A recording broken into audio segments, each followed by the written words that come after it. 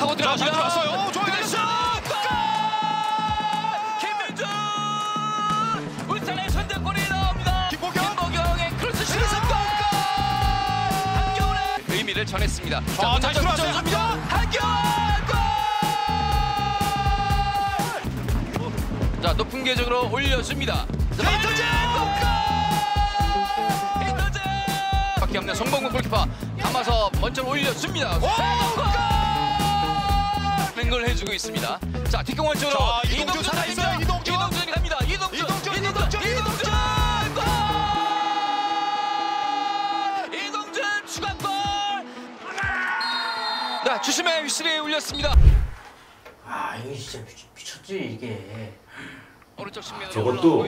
김민준 선수 첫 번째 골도 최보경 선수 알을 보고 저, 저 상황에서 침착하게 저렇게 알을 보고 들어간다는 자체가 일단 놀라운 거고 최보경도 아마 몰랐을 거저딱 알을 놓고 뛰겠지라는 생각도 못했고 여기서도 왼발로 그걸 첫발 터치를 본인 주발이 아니고 오른발로 당긴단 말이에요. 그러니까 홍정호 선수도 저 상황에서 때릴 수 있는 판단이 나오지 않았을 거라 생각을 하거든요. 아 그러니까 저게 거진 느낌이 따당 느낌이었지. 네, 왼발 오른발 그러니까 홍정호 선수도 반응을 할 수 없는 속도였고 거기다 송범호 선수도 반응을 할 수 없고 중앙 수비 그리고 골키퍼까지 완전히 찢었다라는 게 맞는 것 같아요.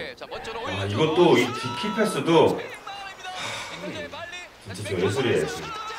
그러니까 되게 경험이 없는 선수지만 경기에 굉장히 녹아들었다는 게 K리그에 적응을 이미 많이 한 것 같아 웃는 것보다는 저는 여기서 김민호 선수가 딱 뒤보고 햇볕으로 네, 이 슈팅 역시 네, 성공을 사실 이끌어냈죠. 이런 거 보면 바코보다 더 침착한 것 같은 느낌? 그치. 네. 바코 자, 뒷공간!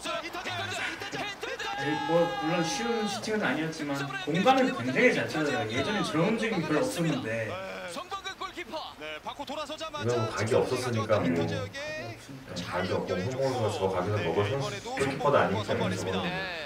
이성윤 선수가 나오고 황교안 선수가 투입이 됐고요. 이제 한경 선수가 들어왔습니다. 오른쪽에서 거의 공격이 없었거든요. 근데 이제 한경 선수가 들어오자마자 오른쪽이 이제 많이 열려요. 그러면서 이제 한경 선수한테 많이 공간도 나오고 서령호 선수가 이성윤 선수가 있을 때는 그나마 마음 편했는데 이제 한경 선수 들어오면 이제 급해지죠.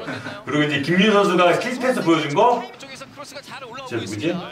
바로 오도 바로 그냥 저기에 맞서는 게 기가 막힌 패스로 와 이거 진짜 지금 눈 감는 줄 알았어. 와 저거는 뭐 김기, 불투이스, 조현 선수가 못했다기보다 그치 그냥 김고현 선수가 그냥 퍼다 준? 설경우가 네. 왜 끝까지 못 따라갔어 저건 늦었어. 완전 늦은 거예요. 놓친 거지 네, 완전히 늦은 거. 공보다가 네. 불투이스가 잡아줘야지 됐다는 느낌이었을 거야 아마. 아 와 김고경 선수가 기가 막힌 이것도 진짜 잘 때렸어 논스톱으로. 그러니까 좀 맞추기도 힘들 텐데 네. 뒤에서 날라오고 저는 집중에 집중을 하지 않고서야 못 넣는?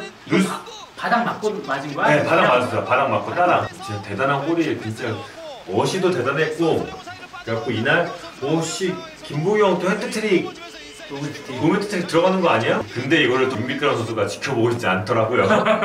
근데 저는 여기서도 이제 여기서 이제 인터지어가 골을 넣잖아요. 윤빛가람 선수가 어시를 하면서 윤빛가람 선수 이제 본인 컨디션을 찾아가고 힌터지어가 골을 넣는데 저는 여기서 멘트가 루제문이었단 말이에요. 루제문이 힌터지어를 잡는 게 그러니까요. 과연 맞을까라는 좀 의문이 듭니다. 저는 차라리 전문적인 수비수가 맞는 게 낫지 않았을까. 저런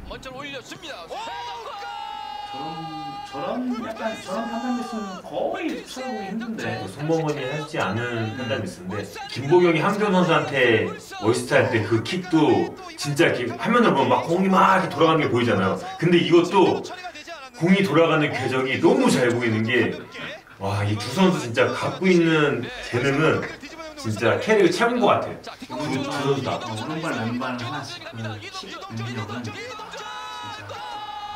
저거는 이동준도 잘했지만 여기서 바쿠가 밑에 보는 줄 알았습니다. 너무 행복하고 웃을 수밖에 없지 들어가자마자. 윤빛가람이 김고영이 혜택제 못하고 어, 윤빛가람 혜택 하겠다 근데 딱 그게 돼갖고 늘수 는다고 생각했는데 이건 또 본인이 급하더라고 아, 이 장면은 뭐 조현우가 뭐- 한번 이게 이게 조연다라는 걸 본인이 보여준 거고. 조현 서브 나왔어.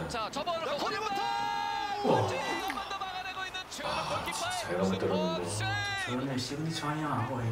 그렇지. 가장 잘하는. 지금 울산 전북도 음. 선수들 각자 자기의 라이벌적인 면이 충분히 있었을 거란 말이에요. 그러니까는 김보경이 어시 두개 하니까 윤빛가람도 아. 질수 없다. 그리고 한교원이 사이드에서 골 넣으니까는 이동준 바깥에서 보고 있다가 어씨 교원이 형이 골 넣네 그럼 나도 들어 넣어야지. 아 그런 진짜 서로 진짜 그 라이벌 팀이 만나면은 항상 이런 게임을 보여준다고 보여줘야 된다고 어. 저는 그렇게 생각을 해요. 울산과 뭐 전북이 만나면은 이 재밌는 게임이 항상 이루어졌으면 하는 바람입니다.